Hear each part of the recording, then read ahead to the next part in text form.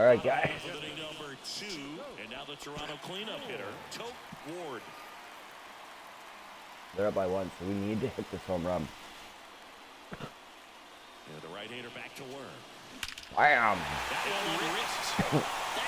And that's exactly what we did. That's his seventh